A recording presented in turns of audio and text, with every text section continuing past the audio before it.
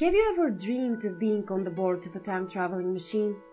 Well, this may become a reality in the far future, but what about the near one? Hi, my name is Yoana Sandinska and I'm 25 years old PhD student.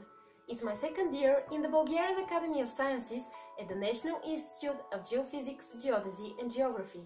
I'm an optimistic and curious about the world person who gets excited by exceptional out-of-the-box ideas. I have a simple strategy for achieving all my significant short-term goals and objectives and this is the persuasion of my final vision beyond. The aims for a better life and professional success.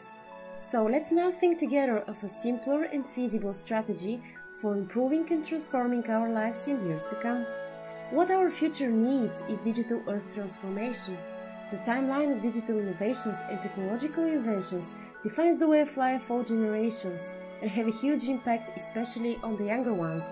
In the coordinate system of technological inventions, World Wide Web, mapping drones and self-driving cars play a big role in the life of the last three generations.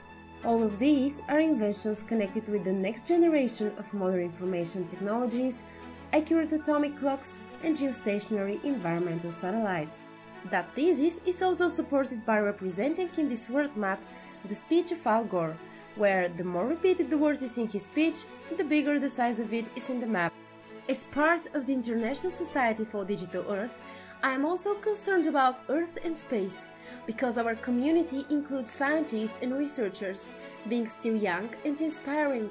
We handle all kinds of data and information, observing environment and phenomena, and developing innovative technologies and interactive applications, with simpler decisions for better results using geographic information systems and World Wide Web, and processing collected digital and geospatial information, delivering three-dimensional multi-resolution georeference data and representing virtual reality with high resolution in real time for taking decisive actions, providing precise and accurate content with helpful and understandable information, showing significant and recognizable objects and describing natural and human impact factors for sustainable and resilient infrastructure both at local and global level.